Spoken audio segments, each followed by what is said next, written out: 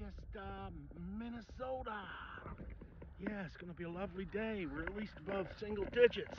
Look what I found. Little rainbow action. Yes, sir. There's a lovely little lady. Yeah, she's a cutie pie, isn't she?